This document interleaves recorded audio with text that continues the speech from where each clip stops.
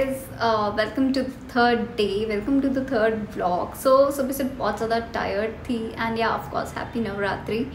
So सुबह से बहुत ज़्यादा बिज़ी थी एंड वीकेंड मूड था सैटरडे था तो थोड़ा सा लेट भी उठी हूँ आज. So I didn't got much time hope you understand so जैसे ही आज मॉर्निंग स्टार्ट हुई तो I need to brush for my work and बिल्कुल भी टाइम नहीं मिला ज़्यादा. सो आई हैड नॉर्मल वाला टी ग्रीन टी नहीं लिया because I was tired also time भी नहीं देता खाने पीने का। सो so, नॉर्मल वाली टी ली काजू बादाम लिए एंड देन उसके बाद I had one banana which keeps me going so just इतना लिया and then I have to rush for my work and उसके बाद आके so one more thing I need to tell you that कहीं भी आप जाएँ ना do not forget to apply S P F it's really important for your skin अगर आप गर्मी है, नहीं है, कैसा भी मौसम है you need to apply S P F for your skin that's really really important nowadays and इसके साथ साथ क्योंकि हमारे मतलब स्ट्रेस इतना ज़्यादा होता है वर्क लाइफ स्टाइल इस तरह की होती है you need S P it's so important and आके भी मुझे ऐसा लग रहा था कि my skin need some moisturizing तो instead of using any moisturizer I am using this S P F thirty this really works for me and ये बहुत अच्छा है. Means look at the bottle बिल्कुल माइल्ड है, बिल्कुल भी फ्रेगरेंस नहीं है and it's so light non sticky gentle है आपकी स्किन पे। जस्ट लुक इस तरीके का टेक्सचर है, देखिए कितना माइल्ड है। मीन्स अगर आप जो आपकी डेली बेसिक्स की चीज़ें हैं, जिन पे जो आपको रोज़ लगाने होती हैं, हमेशा अच्छी वाली लेनी चाहिए ब्रांडेड ऑफ़ कोर्स लेनी चाहिए बट उसको देखना भी चाहिए कि वो आपकी स्किन पे वर्क कर रही है कि नहीं। एंड वो माइल्ड है पैराबिन फ्री है हार्श केमिकल से फ्री होनी चाहिए। सो so, ये सब देखना बहुत इंपॉर्टेंट है। एंड इसमें ये सब क्वालिटीज़ हैं प्लस ये बहुत ही माइल्ड एंड जेंटल है आपकी स्किन पे। सो so, थोड़ा सा एक्स्ट्रा खर्चा चलता है इन चीज़ों पे जो आप डेली यूज़ करते हैं because they are really important for your skin so ये जिस ब्रांड की है मैं नीचे मैंशन कर दूँगी आप जाके देख सकते हैं। एक of course of course it really words so so, आप जाके देख सकते हैं and you can buy it also this is from earth rhythm so अब आगे बढ़ते हैं.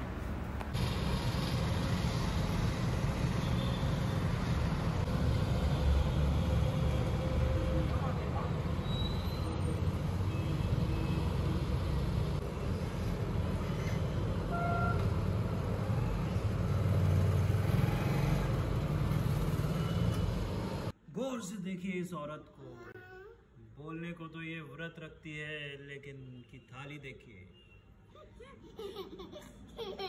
ये मेरा खाना नहीं है इतना सारा। झूठ। ऐसा आपको लगेगा ऐसा आपको लगेगा। लेकिन असलियत मुझसे पूछिए। झूठ बोल रहे हैं ये झूठ। ये लीजिए कहानी यहाँ तक ही सीमित नहीं थी। ये निकली रोटी। अरे तो रोटी नहीं खाओ क्या? रुको रुको देखते हैं अभी क्या क्या है पिटारे में। ये पराठा है वैसे जो मैंने निकाला। और ये रोटियाँ हैं इसमें। अरे भैया पीछे तुम्हारी भी है जियान की भी वैसे मत करो। ये देखो। बताओ ये क्या क्या चलो देखते हैं थाली में क्या क्या है। बताओ भाई। देखो ये पनीर है पनीर की भुर्जी। और ये पराठा है। एंड ये ना मिर्ची का पकोड़ा है। और ये है राइस। राइस। एंड ये है बैंगन की सब्ज़ी। की सब्ज़ी। आज थोड़ा ज़्यादा बना है। आज ज़्यादा थोड़ा? फिर ऐसा लगता है अभी सिर्फ़ पड़ोसियों का खाना ही बचा है बस। हाँ। वो भी हमारी प्लेट में आ कोई जाएगा। इतना ये ना मेरे साथ साजिश की गई है ये सब इन्होंने परोसा है और मुझे है ना दिखा रहे हैं कि मैं बहुत ज़्यादा खाती हूँ। आप लोगों को पता है मैं इतना नहीं खाती हूँ। कुछ किया? ये ये सब जियान और मेरी है। हम दोनों ने मिलके निकाली है। और आपके पास कुछ है? आज हम आ गए हैं थर्ड डे की स्टोरी पे। सो so, आज की जो हमारी गॉडेस हैं वो है माँ चंद्र घंटा चंद्र घंटा नाम कैसे पड़ा कि उनके सर पे होता है चाँद का शेप एंड वो होता है बेल के फॉर्म में, यानी कि घंटी के फॉर्म में। तो चंद्र घंटा उनका नाम पड़ गया। एंड जो उनके हाथ में होते हैं, बहुत सारे वेपन्स होते हैं।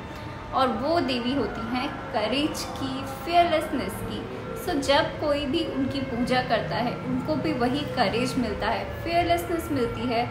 इसके साथ साथ अगर हमें कोई पाप किए होते हैं सिंस किए होते हैं तो वो भी दूर हो जाते हैं उनकी पूजा कर। जो आसपास बैड वाइब्स होती हैं वो भी चली जाती हैं गुड वाइब्स में कन्वर्ट हो जाती हैं एंड हम बहुत ही पॉजिटिव रहने लग जाते हैं।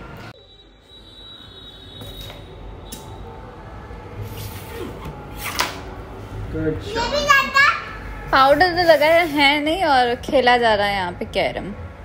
ये भी ये देखो। गई ना? नहीं गई? अब जाएगी।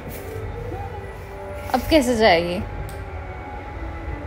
ओ, मैं गलत ओ! दो।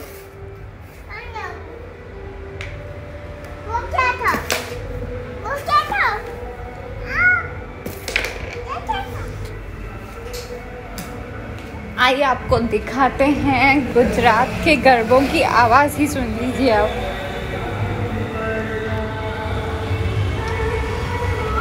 कहीं दूर आसपास हो रहा है गरबा।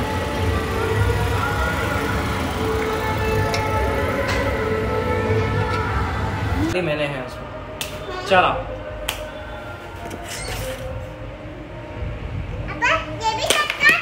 हाँ। मैं फ्रीलांसर जैसे खेल रही हूँ ना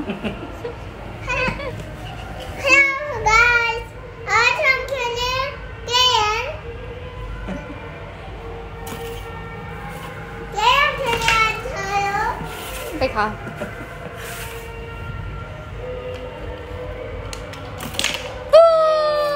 गई गई गई। चलो कवर निकालते हैं। रास्ता तय करेंगे।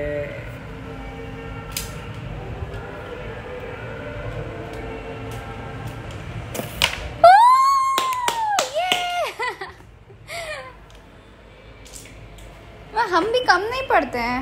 मान गए ना आप? वो हमने हनीमून पे ही समझ लिया था जब वहाँ पे हमने हाँ में- हनीमून में मैंने इनको गिराया वो